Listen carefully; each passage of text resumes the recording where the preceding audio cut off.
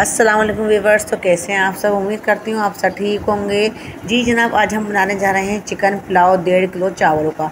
तो डेढ़ किलो चावल का पुलाव हम कैसे बनाते हैं वो हम आपके साथ शेयर करते हैं। यहाँ पे हमने हाफ़ के जी प्याज ले लिया उसको लाइट ब्राउन करने रख दिया है, दो कप ऑयल डाल के।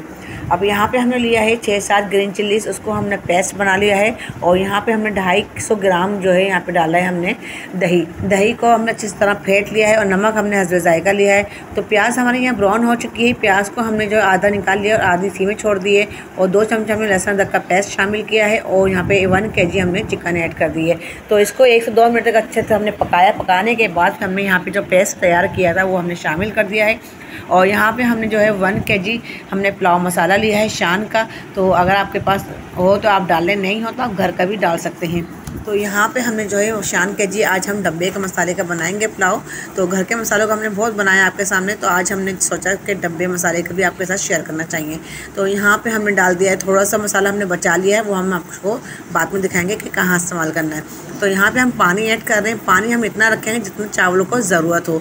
तो यहाँ पानी हमने डाल दिया है हाफ़ के जी हाफ़ के जी पानी डालने के बाद पुदीना ऐड कर दिया है। पुदीना डाल के अब इसको पाँच मिनट के लिए हम पकने रख देंगे और हरी मिर्ची साथ में हमने डाल दी हैं पुदीने के। और यहाँ पाँच मिनट में देखें, तेज़ हमने आँच पर रखा था हमने बॉयल आ गया पानी में।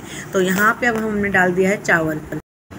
चावलों को हमने डाल के अच्छे से मिक्स कर लिया है। मिक्स करके यहाँ पे हम पाँच मिनट के लिए तेज़ चूल्हे पे रखेंगे चावल को पकने के लिए ताकि इसका पानी ड्राई हो जाए। पानी इसका माशाल्लाह सुबहान अल्लाह ड्राई हो चुका है। इसको अब हम अप डाउन कर लेंगे चावलों को ऊपर नीचे और फिर इसको हम कवर कर देंगे। कवर करने के बाद कवर करने से पहले यहाँ पे हम आपको दिखाएँगे जो हमने मसाला बचाया था, पुलाव मसाला। तो वो पुलाव मसाला हम यहाँ पे ऊपर से इसको छिड़क देंगे ताकि इसकी अच्छी सी खुशबू और दुबाला हो जाए और टेस्ट इसका और मज़ीद बढ़ जाए। तो ये ट्रिक है, ये ट्रिक आप ज़रूर आजमाइएगा, बहुत ही अच्छी ट्रिक है। और यहाँ पर पुदीना और फ्राई अनियन हमने जो आधा बचा लिया था, वो हमने यहाँ पर ऐड कर दिया गार्निश कर दिया है। गार्निश करने के बाद इसको पाँच मिनट दम पर देंगे। दम देने के बाद फिर चेक करेंगे माशा सुबहान अल्लाह, पूरे घर में पुलाव की खुशबू महक रही है। तो ज़रूर ट्राई करिएगा, बहुत आसान आसान सा और ज़बरदस्त सा पुलाव जैसे ही मेहमान घर में आते हैं तो समझ में नहीं आता क्या बनाए तो चिकन पड़ा हो तो फ़ौरन पुलाव बन के तैयार हो जाता है। तो डिश आउट करके दिखाते हैं। माशाल्लाह सुबह अल्लाह बहुत ही ज़बरदस्त पुलाव बन के तैयार हो गया है। तो आप ज़रूर ट्राई करिएगा। बहुत ही अच्छा बहुत ही मज़ेदार सा पुलाव बनता है। तो आप मेरी रेसिपी कहाँ से देख रहे हैं, किस मुल्क से देख रहे हैं, किस शहर से देख रहे हैं, मुझे ज़रूर बताइएगा। और हिना को दें इजाज़त। अल्लाह हाफिज़।